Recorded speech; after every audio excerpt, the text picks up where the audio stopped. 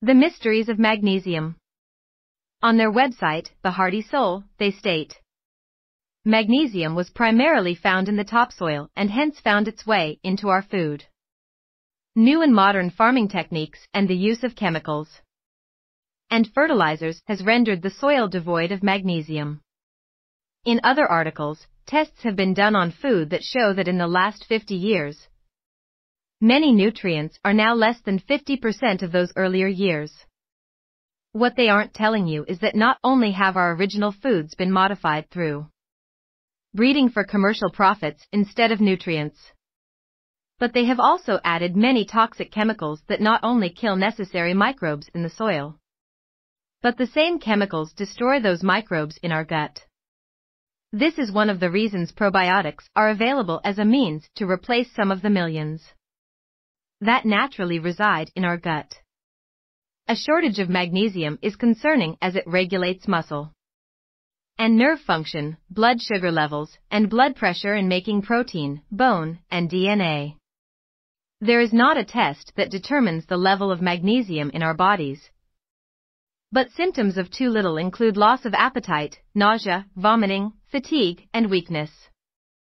Extreme magnesium deficiency can cause numbness, tingling, muscle cramps, seizures, personality changes, and an abnormal heart rhythm. Some correlations between insulin resistance and magnesium have been noted.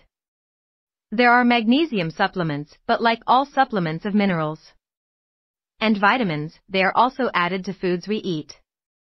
And we can get in excess which can cause problems. On their website, The Hearty Soul, they say, most of us eat too many overly processed foods filled with chemicals, preservatives, and additives that destroy our digestive systems, and not enough vegetables or other whole foods.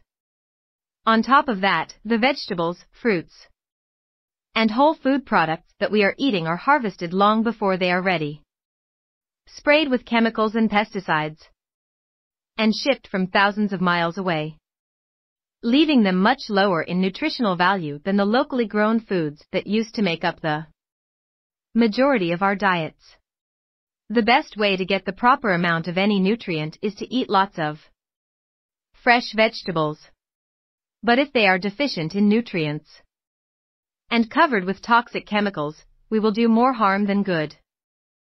Scientists have measured organic food and found that it has a better nutrient count with less pesticide chemicals, plastic particles, and forever chemicals.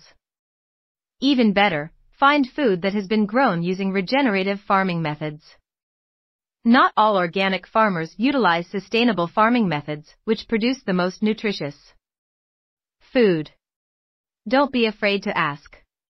Many are not even aware of these farming methods. If in doubt, ask your doctor or registered dietitian. For your health's sake, read our book How the Food Industry is Killing Us.